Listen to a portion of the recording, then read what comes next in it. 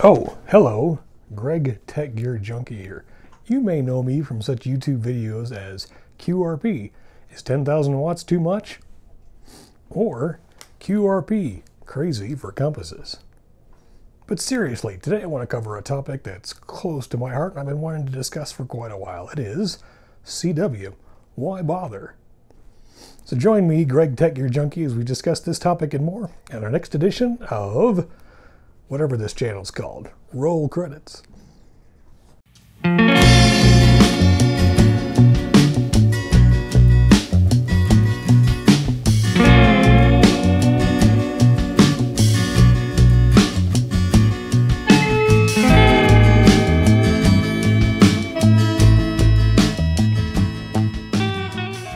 I'm glad you indulged me on my, my intro there.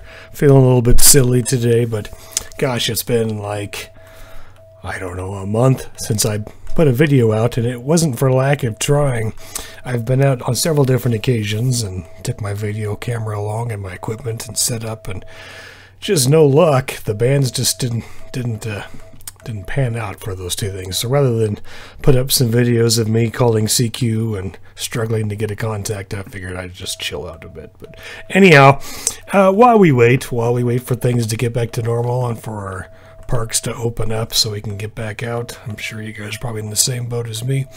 Figured I'd tackle a philosophical discussion here, right?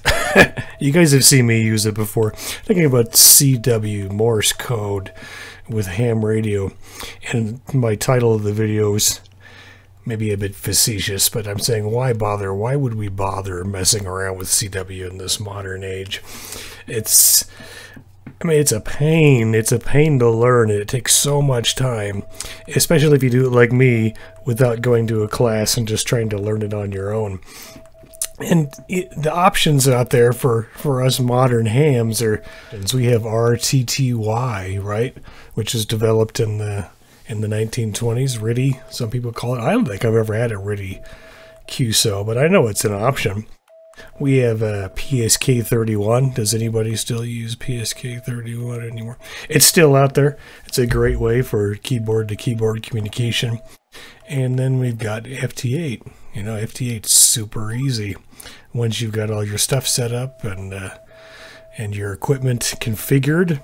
You don't even need to participate. You can just uh, get yourself a beer and have your radio make contacts for you. So why bother with CW? why? But really, I mean, I'm being facetious, right? Obviously, we all know that I prefer CW of those modes. And let's, I'm going to go into a little bit of history of it. I'm sure this is probably pretty dry, but it, has been in use since 1844 by Samuel Morse. We all know that, Morse code.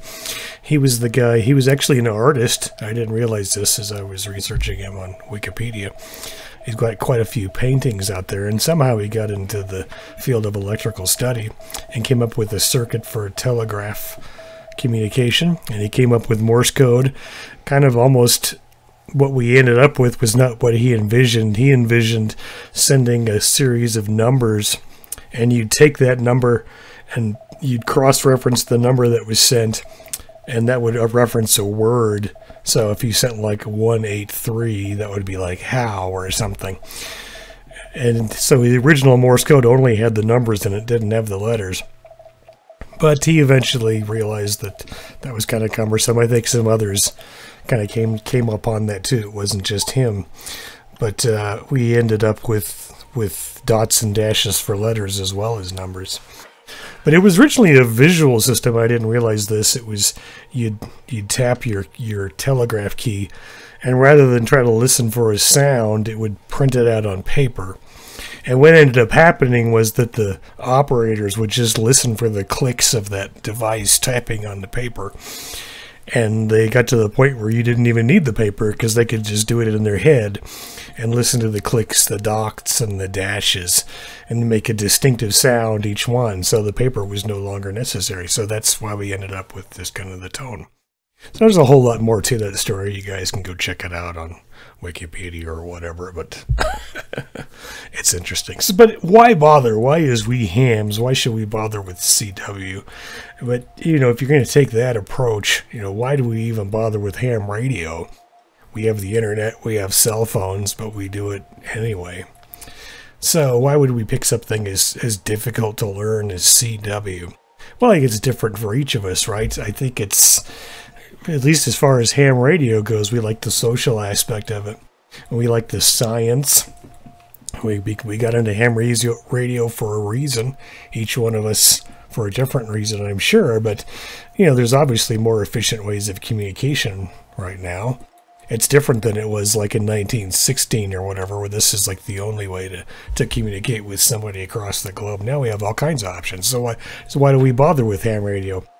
Well, as George Mallory said when he was asked about Everest, why climb Everest? And his answer was because it's there. so we do ham radio because it's there, because it's a challenge. And we can extrapolate that even further to say, why do we do CW? We do CW because it's there, it's a challenge. And when you've mastered it, you get that sense of accomplishment when they get that first QSO. And I think a lot of guys who are watching my videos, I'm not sure, but I think a lot of guys are like me. You're just starting out in uh, portable communications, a QRP. And with QRP, you quickly realize that one of the most efficient ways to get QRP to work is to do CW. So the next step is to say, well, what, how can I learn that? You know, and a lot of us, you know, me included, you go, you start you go get your license for your tech exam and that's a challenge right? And you get your, your tech exam and you get your your ham license and you say wow that was cool. I've accomplished something. And then you go to your general and you study a little bit more for that. That's a bit harder right? And we get that and we say that's a challenge. And then some of us go all the way to extra and that's a real hard piece of study. That's like you know, for me, it was like a year of studying. We say that's a challenge, and we've completed it. So we've got our extra. And what's the next step? What's the next challenge? Well, there's there's all kinds of things, right? We can build kits, we can design circuits. But for me personally, I'm not really a kit circuit kind of guy, but CW was the next challenge. And I be by no means would say I'm anywhere near super proficient at it, but it was the next step for me as something to try out. So that's why I use it. It's uh, I look at my log these days, and there's not much sideband. The sidebands I do are usually activations and QRP and stuff. But if I'm going to sit down at my base station, it's gonna be CW, just because I enjoy that challenge and it's rewarding when you get a QSO and you and you've struggled through it and you've written down and you've got that signal report. And you you put it in your log. And then you, if you're lucky you get a QSL card from somebody. There's there's the reward. That's the reward. What else? What's another reason for for wanting to learn CW well in terms of deployment in terms of gear it's simple. It's just it's a switch. It's on and off. That's all you need. Especially if you're going to be doing QRP and hiking or, or you're going out remote. You don't want to drag a lot of gear with you. The less stuff you have, the the less can go wrong. Digital modes are great, but they require an order of magnitude more setup and equipment. If you're at home, it's not a big deal, right? We have we have our gear set up at home. We have our computers and our interfaces and our sound cards. But if you're out hiking around, you can do it, but it's it's just an order of magnitude more complicated.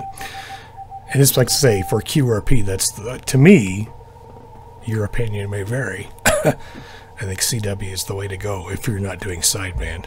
Also, in an emergency, right? Oh, you know, God forbid we have some kind of situation where maybe you can't get your computer running or due to whatever circumstance you're in, you don't, you can't get all that extra equipment hooked up. Don't have the time. CW is just immediate. All you need is your key, your radio, and your antenna, and your ear, and that's it. So think about that. It's just super simple. All right, why else? Why would we mess around with, with CW? Well, you know, sideband's obviously easiest. That's where we all start but it's not super efficient, especially with QRP. but CW is super efficient. Maybe not quite as much as like FT8, you know, designed for weak signal. But maybe it is. I mean, there's nothing magic about ST, FT8. It's still just a signal. It's got to get out through the noise. And so, especially with CW, just a little power goes a long way. If you've got a good antenna, you don't need a lot of power. It's got a very narrow bandwidth, so just a little a little blip of energy, your signal can go all the way across the world. Just watch the video I did with the uh, 10 watts to France. You guys can argue whether that's QRP or not, that's fine, but it's still 10 watts. 10 watts to France with CW, with minimal equipment. There's no computers, there was nothing. It was just me and my key and a notepad and, uh, and a tuned antenna. And let's see, let's think about the last reason. Well, there's probably lots of reasons. The last reason I can think of. It's civilized and pure. what do I mean by civilized? I know you listen to so much stuff like on 80 meters at night or whatever, and there's there's a lot of arguing, there's a lot of politics, there's sometimes religion in there, and that's stuff I can do without. But with CW, it's just simple. It's it's you know your contact, your location. It can be a little bit of rag chewing, nothing wrong with that, but they don't. There's not a lot of anger. I've never heard a, an angry CW QSO because it just takes too much energy, right? we want to say hi, thanks, and this is my rig, and that's what I appreciate. And also, it's it's pure. There's something pure and romantic about it to me, anyway, about a CW signal to me, that it comes down. That's the root of ham radio, right? You can remember if you guys who have your licenses, or maybe the first time you fired up an HF rig and got it tuned in, the first time you heard a, a Morse code signal coming down the line there. It's kind of mysterious, right? It's it's it evokes the very spirit of radio, to quote Rush.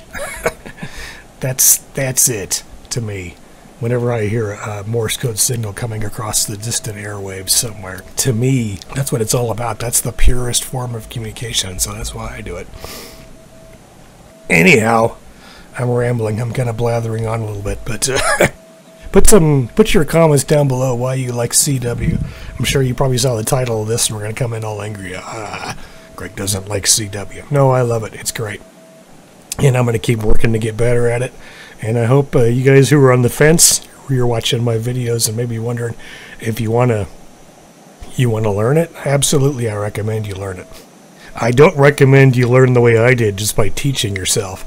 That's well you can, but it's a lot harder. Find a class, find a CWT class or one of those Zoom classes they have out there.